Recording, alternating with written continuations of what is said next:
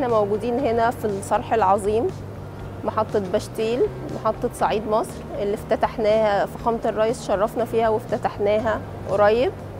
المحطة هنا موقعها متميز جدا وعبقري لأن هي نقطة في النص ما بين محطة رمسيس ومحطة الجيزة. إحنا هنا أنشأنا المحطة دي علشان طبعا محطة رمسيس لما تم إنشائها كان عدد سكان مصر 4 مليون. دلوقتي إحنا بنتكلم في أكتر من 100 مليون. فكان لازم ننشئ محطة جديدة تقدر تستوعب العدد الهائل دي من الركاب. إحنا هنا في الإنشاء المحطة هنا نقدر نستوعب 250 ألف راكب يوميا. المحطة هنا على مساحة 57 فدان. مبنى المحطة ومباني خدمية وورشة عربات وورشة جرارات.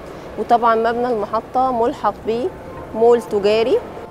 المحطة هنا بتحتوي على 11 رصيف منهم ستة القاهرة أسوان وطبعا ده بيكمل ممكن عادي يروح اسكندرية ومنهم أربع أرصفة مناشي خط المناشي الأباري وعندنا خط طبعا البضايع. المحطة هنا بتحتوي على كل نظم الأمان والسلامة أجهزة إنذار وأجهزة إطفاء حريق وأجهزة إكس راي أحدث الأجهزة.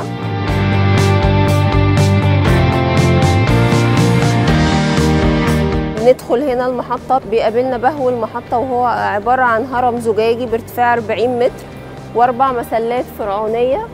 إحنا كان كان مهم قوي في اختيار المحطة دي إن إحنا نخليها ذات ذات طراز معماري فرعوني علشان دي بوابة الصعيد وإحنا طبعا معروفين بالحضارة الفرعونية فكان لازم نخليها تعبر عننا. عندنا غير كده تذاكر تي في ام الراكب يقدر لوحده يقطع التذكرة ودي من أحدث نظم التذاكر في العالم. المحطة هنا بتحتوي على 1200 كاميرا مراقبة مفيش أي جزء في المحطة مش مكشوف. كان أهم حاجة في المحطة هنا إن ذوي الهمم يقدر يستخدم المحطة كلها لوحده بدون أي مساعدة.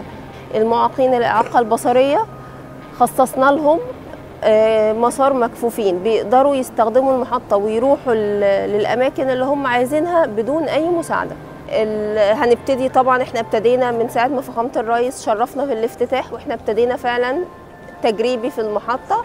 هنبتدي إن شاء الله من 1 11 المحطة هنا شارك فيها أكتر من 7500 عامل من مهندس لعامل لفني لحرفي لسواق لأي حاجة. فنتمنى دي دي هديتنا لأهلنا في الصعيد ونتمنى من أهلنا المحافظة عليها علشان كل بيت شارك فيها. فنتمنى نتمنى إنهم يقبلوا هديتنا ويحافظوا عليها.